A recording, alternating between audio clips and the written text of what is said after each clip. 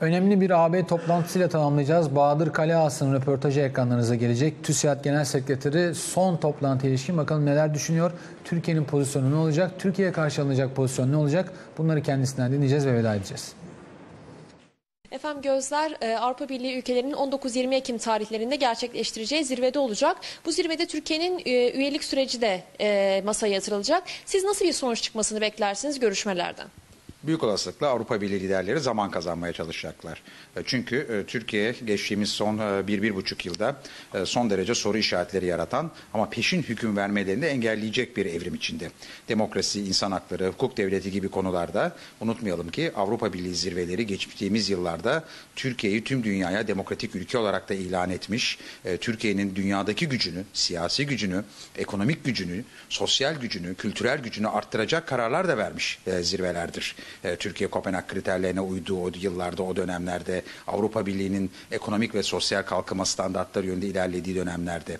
E şimdi Türkiye son yıllarda bu konuda bocalayan bir ülke görüntüsü veriyor. Geriye giden e, bir ülke durumuna düştü. E, olağanüstü hal zaten kendi başına çok önemli bir e, sorun yaratmakta. Türkiye'nin dünyadaki gücü açısından, Türkiye'nin de düşmanlarını güçlendiren bir uygulama haline geldi. Şimdi böyle bir dönemde acil bir karar vermemesi gerekiyor Avrupa Birliği liderlerinin.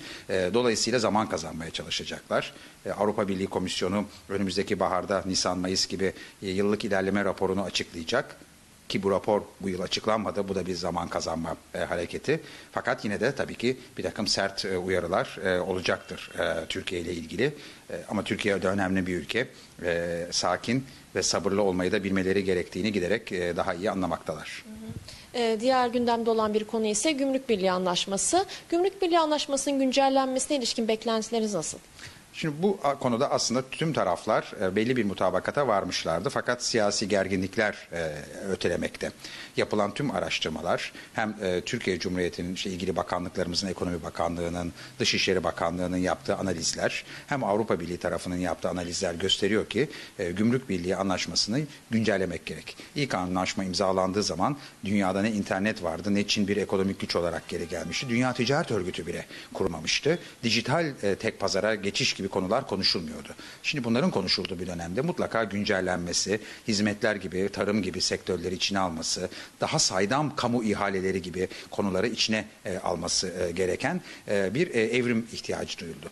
Şimdi bu böyleyken tabii e, Avrupa Birliği tarafında aynı zamanda Avrupa İş Dünyası'nın temsil kuruluşu, Avrupa e, Özel Sektör Konfederasyonu, Business Europe, Türkiye'den de TÜSİAD üyedir, TİSK ile beraber. E, o da bir e, karar aldı ve dedi ki Avrupa'nın geleceğiyle ilgili bir belgede üstelik üstelik yani Avrupa'nın geleceği için en önemli konuları sıraladığı bir belgede dedi ki e, Avrupa Birliği'nin geleceği açısından önemli konular arasında Türkiye'nin AB üyeliği süreci vardır.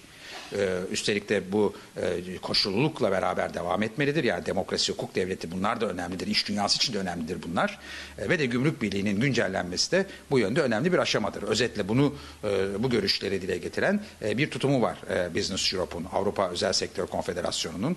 Ayrıca TÜSİAD hem Business Europe dahilinde hem onun önde gelen üyeleriyle örneğin Almanya'da BDI, işte Fransa'da MEDEF, İngiltere'de CBI gibi işte İtalya'da Confindustria gibi üyelerle ikili ilişkilerinde de bu konuyu konuyu sürekli gündeme getiriyoruz. Geçtiğimiz hafta Berlin'de BD ile bir toplantı yaptık. Orada da Gümrük Birliği'nin güncellenmesiyle ilgili konularda iş dünyaları neler yapmalı bunları konuştuk. Hatta bunun ötesinde sanayi 4.0, 4. sanayi devrimi, dijital dönüşüm bu konularla ilgili işbirliği için bir ortak anlaşma da imzaladık. Yani teknik olarak e, ve de ekonomik olarak biz, Gümrük Birliği'nin güncellenmesinin zemini e, sağlamlaşmaya devam ediyor. Fakat siyasi gerginlik ortamında tahmin ediyoruz ki bir süre daha bulanıklık e, var olmaya devam edecektir. Bugün TÜSİAD bir toplantı düzenliyor. Toplantı iki gün boyunca sürecek. Neler konuşulacak? Hangi konular masaya yatırılacak bu toplantıda? Şimdi TÜSİAD'ın da e, üyesi olduğu e, merkezi Paris'te bulunan e, Bosforus e, Enstitüsü bir toplantısı. Bosforus Enstitüsü'nün özelliği Fransa'da kurulu bir kurum. Üyelerinin büyük çoğunluğu Fransa'nın önde gelen siyasetçileri, iş dünyası insanları, akademisyenleri, medya insanları ve aynı şekilde Türkiye tarafından da birçok kişi katılmakta buna. Yönetim Kurulu Başkanlığı'nı e, bu dönem ben üstleniyorum bu kurumun. E, fakat e, esas olarak Fransızların ağırlıkta olduğu fakat Türklerin de büyük destek verdiği e, bir kuruluş. Dolayısıyla gerçek bir Fransız-Türk platformu. Buna e, Avrupa Birliği diğer ülkelerinden de başta Almanya olmak üzere davetlerin de e, katılımıyla bir böyle altıgen masa oluşturuyoruz. Fransa haritasında Fransa altıgen gibidir. Ve e, üç oturum boyu e, önde gelen birçok insan e, kendi alanlarında düşünce lideri olan, e, etkili olabilen birçok insan e, bir araya gelerek e, küreselleşme, Avrupa'nın geleceği, Türkiye-Avrupa-Fransa ilişkileri gibi konularda görüş alışverişine bulunuyor. E, bir nevi ortak, kolektif e, düşünce geliştirme e, aslında e, kulübü diyebiliriz buna. E, bu konular konuşulacak. Tabii ki enerji konuları, e, sanayi devrimi konuları, e, göç konusu, güvenlik e, gibi konular, e, demokrasi e, konuları, tüm bunların hepsinin e, çok farklı kesimlerden ve farklı ülkeden gelen insanların arasında e, iki gün boyu konuşuldu E, ve de böylece e, tüm bu e, kendi alanlarında e, etkin olan kişilerin geri döndükleri zaman e, kendi e, e, asıl e, dünyalarına bu ortak e, düşünce egzersizinin etkisiyle daha yapıcı e, ve de daha belki de e, yükseltilmiş e, bir gerçeklik içinde diyelim hareket edebildikleri bir alan yaratıyoruz.